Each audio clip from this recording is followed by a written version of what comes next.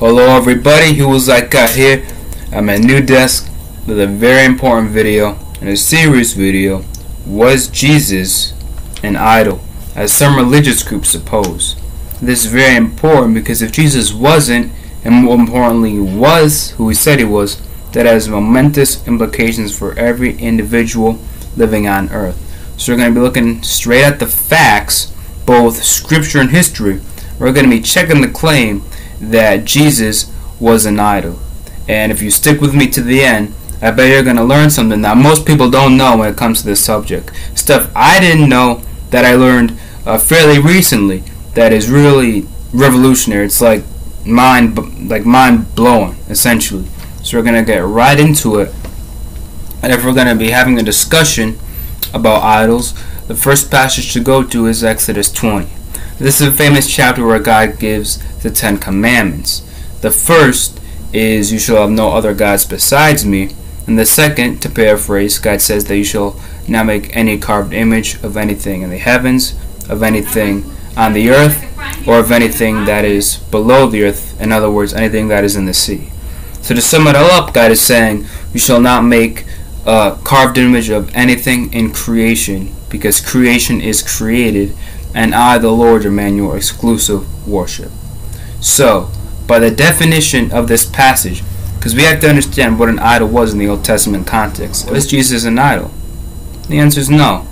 And the reason is because, in context, an idol is always a carved image. It's always something that's physically built and worshipped apart from Yahweh. Jesus wasn't a physical structure, a carved image that was worshipped in addition to Yahweh, as if there was a pantheon. So, judging by the Old Testament in context and what is defined as an idol, no, Jesus wasn't an idol. See, but the argument is a little more nuanced than that. Those who claim Jesus is an idol, not Christians are idolaters, is because the Bible itself says that God is one. Christians believe in the Trinity. Christians believe in three in one. So, the triune nature they say can exist in monotheistic thought. And so we're idolaters because we're worshiping Jesus, who was a man, as God. I'm going to bring you some exceptions. I'm going to answer them.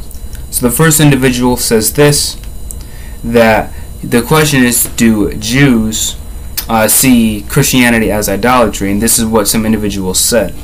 Yes, the main belief of the Jewish religion about God is stated in the Shema Hear, O Israel, Hashem is our God, Hashem is one. In other words, so right there it says that God is one. The Trinity states that God is three. And he goes on to say that's a non monotheistic belief, that's demonstrably false, as I'm going to get into a little bit later. And he says that God is indivisible, meaning not only is God one, but he doesn't have any plurality in his oneness, in his existence. The second individual says this Observant Jews believe Christianity to be idolatry and paganism. Why? We worship a virgin born man God, a God that is intrinsically more than one but extrinsically one. And then he goes on to talk about the atonement, which we see is prophesied in the Old Testament, Isaiah 53, but that's a different subject. He says that the Torah and the Tanakh, that's the Hebrew Bible, the Old Testament, doesn't support any of these heinous beliefs. So let me take a second to respond to that. These individuals are saying that the idea of a divine Messiah is foreign to the Old Testament and just the existence of God beyond one unit, in other words, no plurality. The verse to go to is Deuteronomy 6, that is sort of causing all this controversy where God tells Israel, Hear, O Israel, the Lord our God, the Lord is one. You shall love the Lord your God with all your heart and with all your soul and with all your might. Interestingly, Jesus quotes this in the New Testament as the greatest commandment in the law, the greatest commandment to follow, the one to be held in the highest esteem. But for our purposes, that's besides the point. But we see even Jesus upholding the commandment to worship God exclusively, exclusively, as the greatest moral imperative.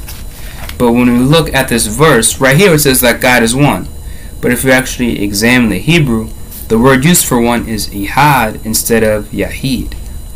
That's significant because the word echad is also used for a cluster of grapes, or even for the unity of a man and a woman, a man and his wife, when they become one flesh.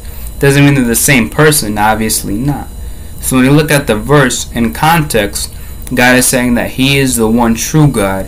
He alone deserves worship, but the wording leaves the door open for a plurality of His existence.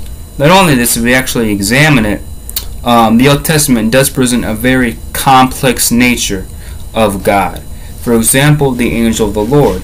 The messenger of the Lord is a uh, divine being, in other words, a spiritual being who is presented as being distinct from God, but at the same time being the same as God because, well, he's God's messenger. He speaks as if he has the authority of God and has the authority to forgive sins. So, angel of the Lord is one example of the complexity of God as presented in the Old Testament. So we all we all see all these different things coming together, these different nuances and different puzzle pieces that are fully realized in the person of Jesus. So the reality is there's something very interesting to this extent called Jewish Binitarian monotheism. Now this is the part that um, I didn't realize until fairly recently that it's incredibly interesting and Mike Heiser has done a lot of work on this that we know that in the days of Jesus Jews believed that while there was one God, there were two powers in heaven, plurality of God's existence. And they didn't see it as violating the Shema. That's the incredible part about it. And these weren't Christians, by the way. These were Jewish people, faithful Jews, religious Jews, who believed God had a complexity and nuance to his existence. This sounds foreign to many people today, especially many religious Jews today. What you see is in the second century, after the Church of Christ, Yeshua, was already established, this idea became banned in Judaism. But that's already after Christ and his church. Before then, this was a belief that Jews had, faithful Jews, which is something that we don't even realize, but that is true in the historical record. So, when the disciples and the first century church um, came to understand who Jesus was, and they worshipped him as God, uh, this this this Yeshua, this worship of Christ is stepping on into this context. So, in other words, the second power in heaven, the one who has even uh, human characteristics, we find his identity in the person of Jesus. This is sort of how the Jews had this theological framework already in existence that the Christians entered into when they believed Jesus was the Messiah and that he was ultimately God. And we know it's uh, demonstrably true that the belief of Jesus as God goes back to um, the first generation of disciples, the 12 disciples and the Apostle Paul, and the earliest Christian writings like 1 Thessalonians. The last individual talks about how the central tenet of Judaism is a unitary deity, indivisible, and numinous. And that is true of modern Judaism. Like I've shown you, ancient Jews believed God did have a plurality to his existence, which goes to show that believing that isn't in contradiction with the Old Testament. The Old Testament even uh, presents that, and ancient Jews believed that, and Christians as well believed that when they believed Jesus was the Son of God, yet also God. So, he goes on to say that there were a lot of pagan demigods in the ancient world when Christianity was starting to arise. First of all, Christians don't believe in a demigod, but the claim that uh, the 12 disciples, the worship of Jesus, came from a pagan concept, paganism, demigods, is how the church started worshiping Jesus as God. That doesn't line up with the evidence. When we look at the resurrection beliefs, the origins of the resurrection beliefs, and Inspiring Philosophy did a great video on this we see that it is so unlike any other major pagan culture to believe in a bodily resurrection, first fruit of the resurrection, that we see that there's no way that the disciples were borrowing from pagan cultures when it came to Jesus because they were convinced in a bodily resurrection of him, which is unprecedented from any pagan culture at the time, and also um, how messianic movements worked in that day. People would believe someone was the Messiah. When they would die, the movement would end. But with Jesus and his followers, after he died, the movement skyrocketed. See, so there's something special and different about the Jesus movement than all these other movements. And we know that they weren't borrowing from any pagan concepts. And when we actually look at the evidence, thing is uh, individuals have a problem with the idea of a divine Messiah, claiming that the Messiah is fully human according to the Old Testament. And that's what many modern people, modern Jews, believe. But if you actually look at the Old Testament at face value, there are a number of passages that point to the Messiah being God. One of the greatest examples is Isaiah 9 6, where the root of David is explicitly called Mighty God, El Gibbor. Now, some respond to this in saying this prophecy is about Hezekiah, who uh, whose name means mighty. But the interesting thing is this: one chapter later, where the context is about Yahweh, the mighty creator. It uses the same term, El Gibbor. So, mighty God, El Gibbor, is used only two times in the whole Old Testament. And in chapter 10, it's explicitly applied to Yahweh, the one true God.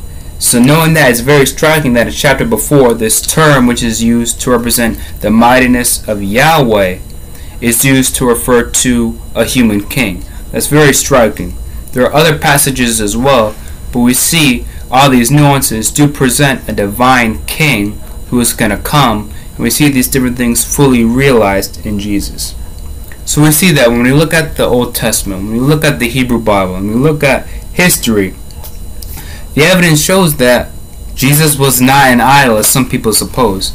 The people who know this um, are ignorant of number one, the Jewish binitarian monotheism, and also that the Bible never teaches that God can't come down in human form.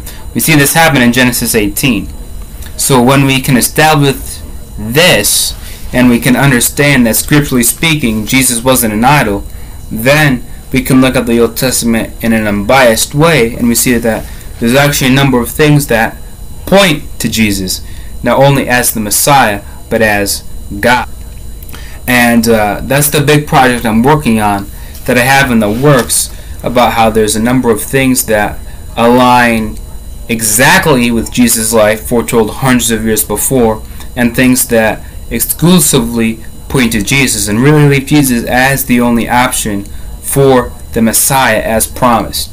I adjure you all to watch it. I pray it will be a great blessing. I'm so excited about this one that I have in the works, and that's coming up. But as for today in this video, was Jesus an idol? Definitely not. God bless.